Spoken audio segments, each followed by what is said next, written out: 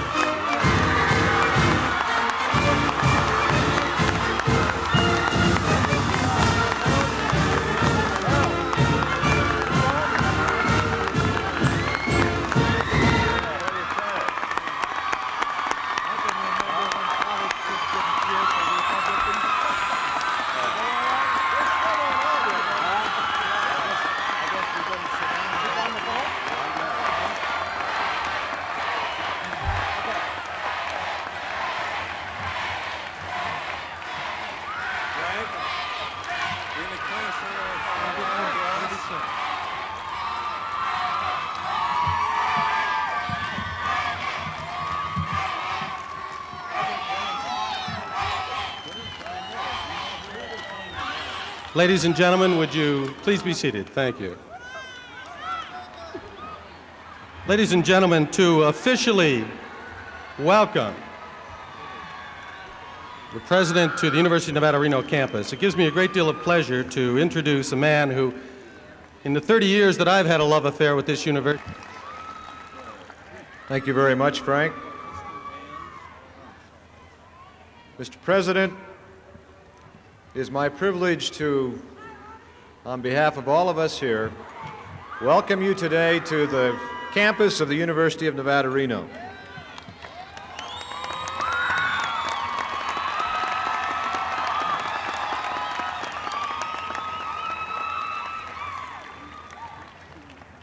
This is the first time in the university's 108 year history that we have had on campus during his term of office a President of the United States.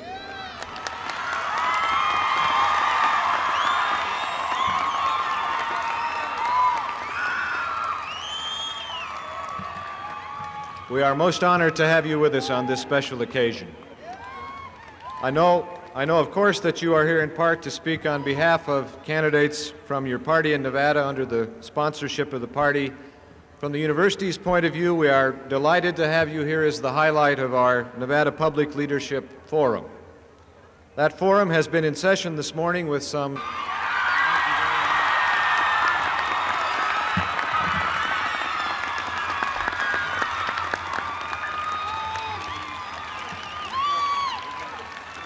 Thank you, Joe.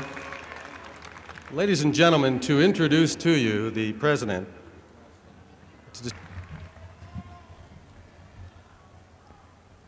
Thank you very much, Frank Fahrenkopf. Governor List, President Crowley, distinguished guests here present, my fellow Nevadans, amigo. Don't you wish we could import that beautiful clear blue sky and all this clear air to Washington?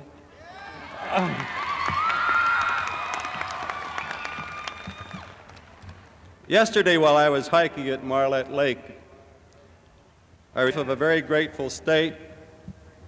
I have the singular honor and great, great pleasure to introduce to you our friend, our neighbor, a man who truly matches our majestic mountains, the President of the United States. Thank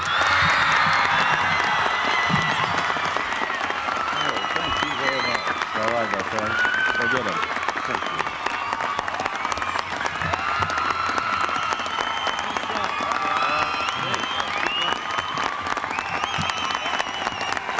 Thank you very much. Thank you.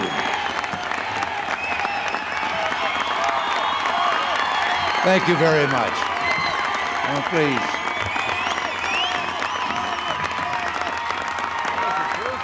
Thank you. Thank you.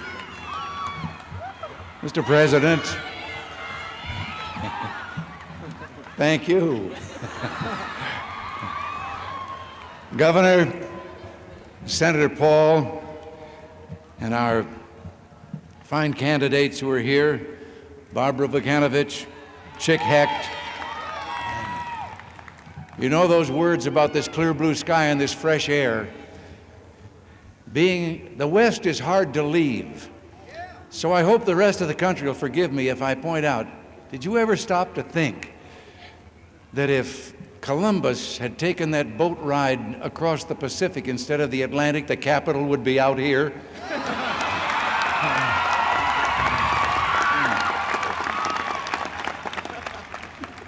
and all these good people here except Governor List, why don't we just skip November and I'll take them back to Washington now? But uh, I'm told that this gathering is an old, billed as an old fashioned GOP, Grand Old Party, rally. The only thing about that that's bothered me is that word old fashioned. I have a suspicion that's because I'm here. I'd like to make this a pep rally for the Wolfpack's victory tomorrow.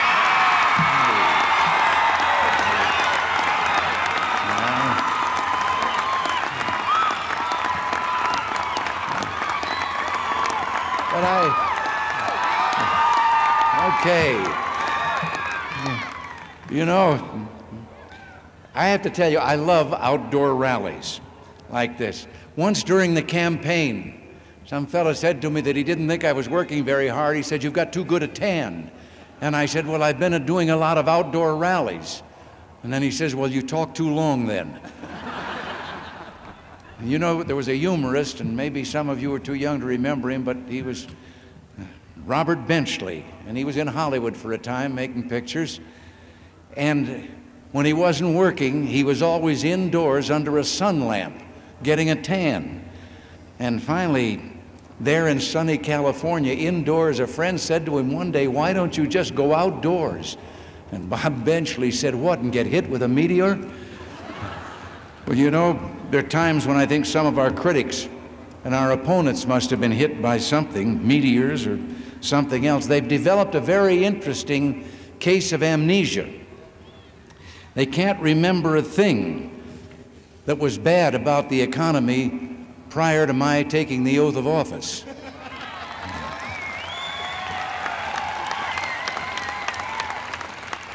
They can think that everything economically that's bad started on January 21st, 1981. They don't remember that in the four years before we got to Washington, the entire government of the United States was in their hands. They controlled the presidency, the United States Senate, the House of Representatives, and all the committees of Congress, the executive branch, the hundreds of departments and agencies responsible for running the federal establishment, they had the whole enchilada.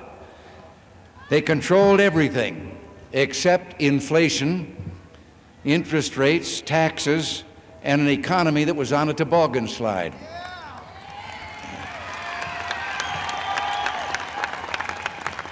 And in their political amnesia, they've forgotten that under their leadership, inflation went up from 4.8% in 1976 to 18% by January of 1980, and that at the same time the interest rates climbed from 7% to 21.5%, and our taxes doubled in five years. Well, I can't blame them. If I were in their place, I guess I'd try to forget a lot of things too. But now let me point out that I spent most of my life as a Democrat. And I know others at this rally have been or still are Democrats. And they have every reason to be proud of their party's many fine traditions. The problems we face today are bigger than any single political party, and solving them will require the best efforts of all our people.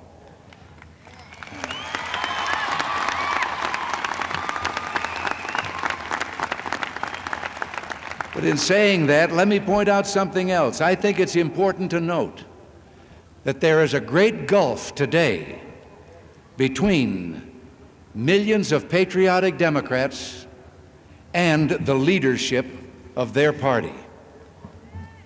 I don't I don't fault the intentions of that leadership in these past years. I know they meant well. They claim compassion and deny that we feel any.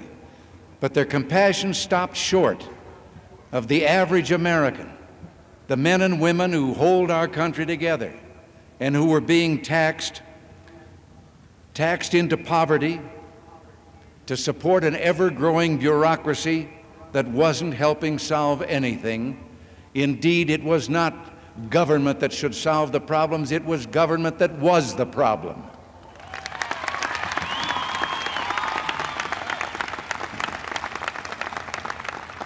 Families, both Democrat and Republican, were driven in the evening to sit around the kitchen table in too many American homes to try and figure out how to cope with inflation and what they were going to do next. And while the average family was being pinched, it was fat city for the federal government. In the year before I took office, that single year federal spending increased by 17 percent. How many of our fellow citizens were able to say that their incomes or their pensions or their savings had gone up by 14 percent? They hadn't. As a matter of fact, for those few years, the standard of living in this country was actually going down, even though people were getting cost of living pay raises, because those cost of living pay raises were moving them up into higher income tax brackets. Right now, we're all paying the penalty of those tragic excesses of the past. Unfortunately, many are paying with their jobs. Nearly 11 million people are out of work.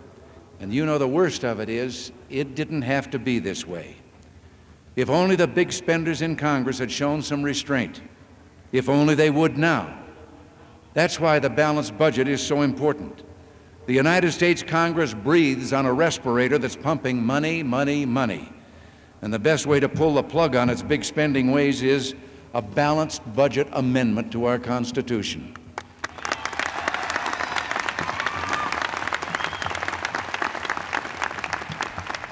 But even though the American people want the amendment, even though a majority of the Congress voted for the amendment, the House Democratic leadership still prefers the failures of the past to the steps that we must take to build a better future.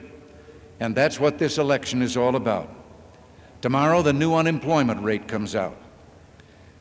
And a great many people are anticipating, and very possibly it will show another increase. But I have some questions for those who will be all over our television screens lambasting this administration if it does. Where were they when the economy started going haywire? What are they offering now except their failed policies of the past?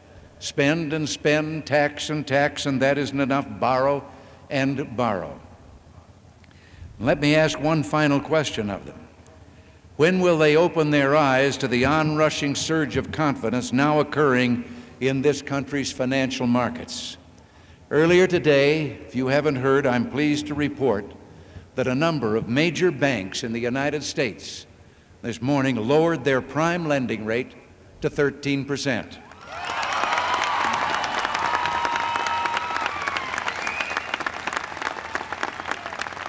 Now, that's a far cry from the the 16.5% rate that prevailed just this last summer, and a 21.5% that was in effect just before we took office. And as interest rates have tumbled, investment has been flowing into our equity and our bond markets. In the past two months alone, the Dow Jones Industrial Average has jumped more than 20%, and yesterday it had the second biggest increase in the market in history. Those investors who have the responsibility of investing billions of dollars including the pension funds of American workers, don't make their decisions lightly. Are they sending us a signal? Do they believe that the American economy is turning a corner, maybe? Do they believe we mean business in our battle against inflation? Are they ready to give this economy a strong vote of confidence? It's an unfortunate fact of life, however, that one of the last symptoms of recession to yield to a recovery is unemployment. But in the meantime, there are important steps we've taken to reduce that hardship. We've extended unemployment benefits in those hard hit areas to those who have exhausted their time. And I will soon be signing, it has recently been passed, a job training bill a measure that will provide training for over a million Americans a year.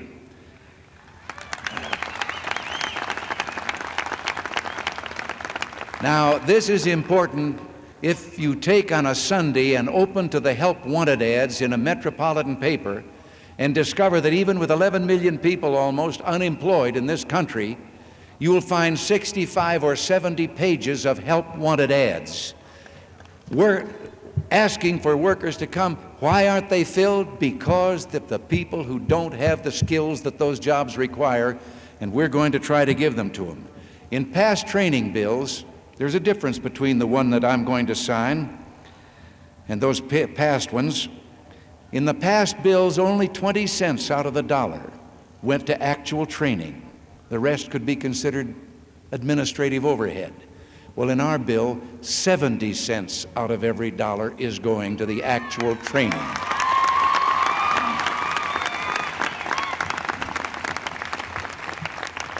And tomorrow, I will sign the Export Trading Company Act, which will encourage the formation of trading companies to spur exports. And the best thing about this measure is that it assists U.S. businesses in developing exports and thus creates hundreds of thousands of jobs at virtually no cost to the taxpayer. You don't know how much I wish there were some quick, easy cure for this terrible economic mess that was so long in the making. But it does seem to me that the people who created the mess are hardly justified now in claiming that having created it, they're the best qualified to try and clean it up.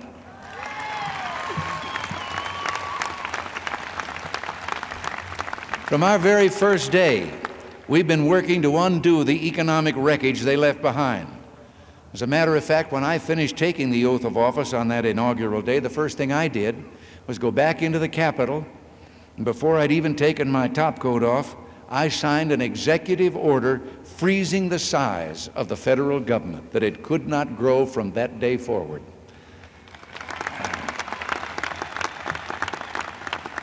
to get control of the spending, to encourage incentives by lowering taxes, to root out waste and fraud, to stop unwise regulations and start America on the road to expansion and growth once again. That's what we've been trying to do since that January day. I won't dwell on this, but you might be interested to know that we've had a team of inspector generals who have been making thousands, tens of thousands of audits. There have been thousands of indictments. There have been hundreds of convictions already for such things as a government agency spending some $300 for an item that uh, they could get for about $30 in their local stores.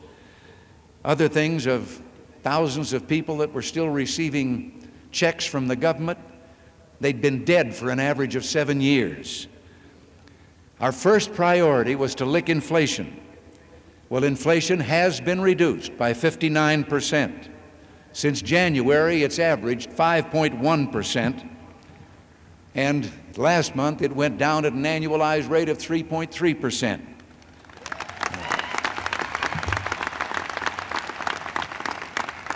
An average family of four with an income of $15,000 is about $1,000 better off in purchasing power than it would have been if inflation had stayed where it was 20 months ago. Interest rates have dropped nearly 40 percent. And I've told you, of course, made the announcement about the prime down to 13 now. Unnecessary regulations have been reduced. The American people have been sending about 10 billion pieces of paper to Washington a year. We so far have reduced the amount of paper by about 200 million man hours of work in filling out that paper. Your tax rates, when the final installment goes in next July, will have been cut for the first time in 20 years. Step by step, our program is working.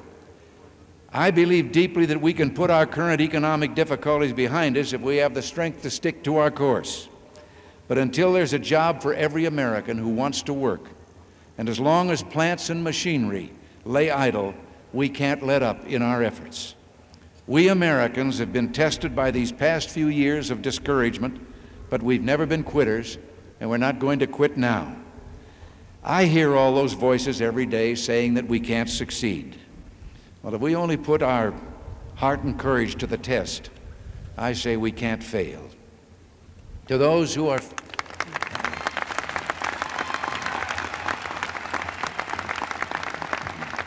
To those who are faint hearted and unsure, I have but one message. If you're afraid of the future, then get out of the way, stand aside. That spirit. And I have to tell you, your hospitality has lifted my own spirits as high as those beautiful soaring Sierras that we can see out here every day.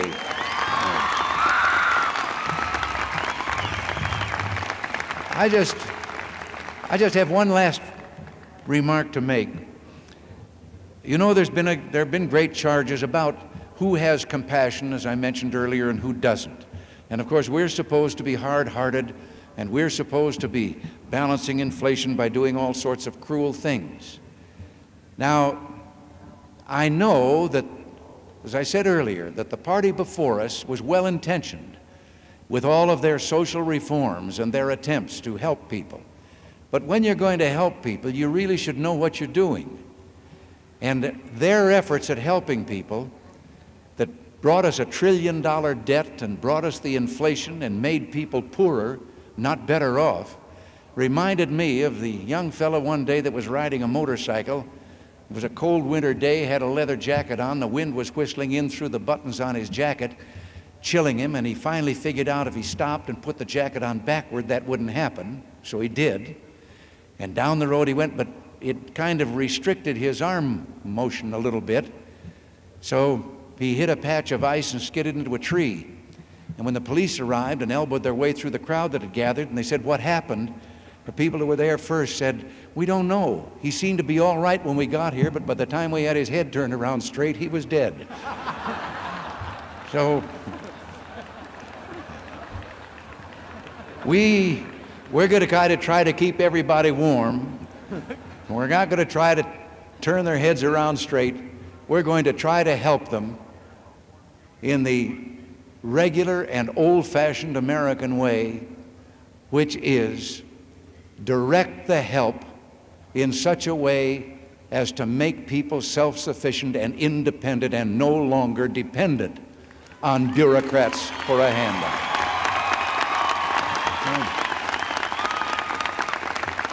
So, thank you. God bless you all and happy going tomorrow. Thank you.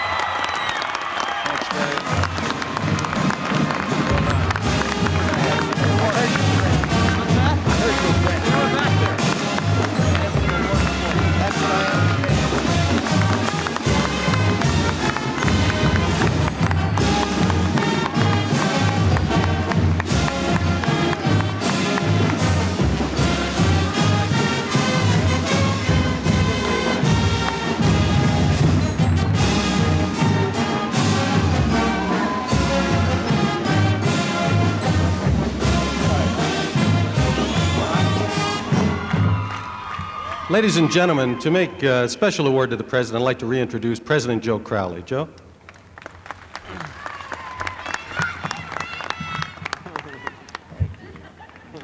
Mr. President, you will recall earlier that I mentioned that the University of Nevada is 108 years old this fall. Eight years ago, we celebrated our centennial, and as a memento of this occasion, I would like to present you with the University of Nevada Centennial Medallion. I hope you might wear it from time to time, remembering your many friends in Nevada and remembering as well what has been for us at the university an historic day. Mr. President, could I ask you to maybe put that on?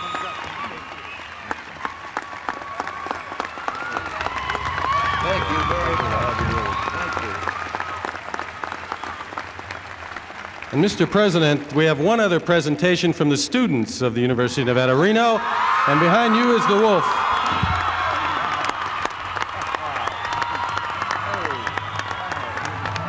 And this is a sweatshirt commemorating the 1982 homecoming.